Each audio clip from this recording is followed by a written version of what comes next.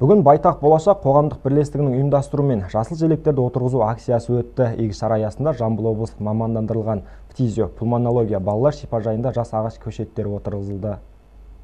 Аталмыш шараның жалпы мақсаты қоршаған ортаны қорғау және қоғамға риясыз қызмет ете отырып жас ұрпаққа өнеге қалдыру. Тағылымы мол тәрбиелік маңызды істің бірі табиғатты аялап жасыл желекті сақтау екені белгілі. Аталмыш шара аясында мекеме қызметкерлері белсене атсалысты. Туған жердің тазалығын сақтай отырып, көгалдандыру жұмысына атсалысу және табиғатты аялап қорғау әр азаматтың борышы дейді шипажай мамандары. Бір жағынан бұл қоршаған ортаны қорғайды, екінші жағынан біздің балаларымыздың шипасына себеп болады. Өйткені таза ауа таза қоршаған орта.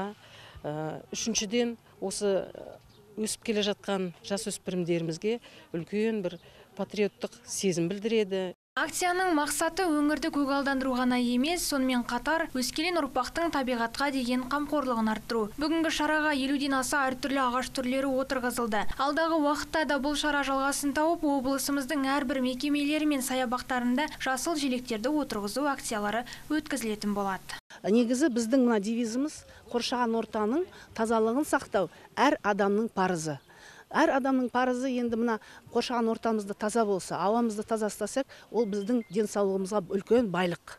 Сол үшін міне осындай жоба жасап шара қолданып шапқылап жүрген адамбыз. Бір кішкентай болса да өзіміздің үлесімізді осы үлкен әлемімізге қосып отырмыз. Атадан мал қалғанша тал қалсын. Көшелер мен саябақтарды таза ұстап айналамызға мүмкіндігінше ағаш көшеттерін отырғызып табиғатты қорғауға үлес қосу әрбір азаматтың борышы. Айгүл пірәлиева нұрсана әбілқасым ернар сатыбалды жеті жеті ньюс.